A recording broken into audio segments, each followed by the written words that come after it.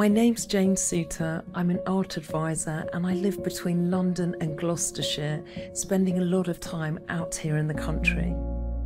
I set up Found Art in 1999 and I help a variety of clients to buy and sell contemporary works of art.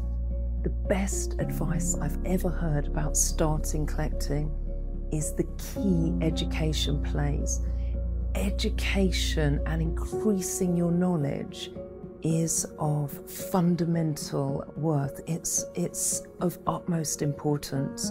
The more you familiarize yourself with various styles and movements in art, the better you know what you want to acquire yourself.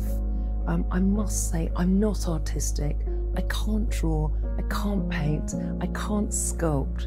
It's, it's about having a good understanding of art history in its entirety, especially from the 1890s onwards, then you can really um, place what you're viewing within the context, within the canon of art history, and work out whether it's a style that you really like.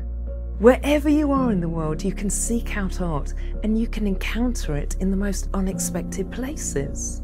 I'm lucky enough to live near one great contemporary artist, Dan Chadwick, who lives at Lypiatt House. Whenever I can, I come to see his latest work, juxtaposed so stunningly alongside that of his late father, Lynn Chadwick, who in turn was one of Britain's greatest sculptors. Here in my Gloucestershire home, I'm living with pieces that mean the most to me, that I've collected over a long period of time. There's so much to be said um, about picking up artists early on in their career. And I was really lucky to encounter encounter this work by Nick Goss. It's been an absolute delight for me to be able to live with the work and see Nick's career and language develop. One of the most important living female artists, Bridget Riley, who's in her 90s now, is a local girl who actually went to school in Cheltenham. And I'd love to have one of her paintings, but they, they run into the millions now. So I've got a print from the 1960s just illustrating the fact that you can be an enormous fan of a particular artist. The painting isn't accessible to you, but the print is. This piece by Bridget Riley works beautifully and echoes the minimalism of the architecture here at the house.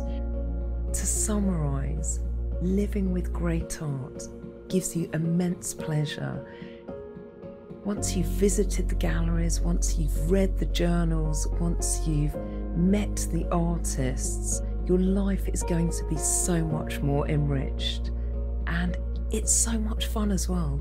Contemporary art is fun, engaging, joyous, surprising, provocative.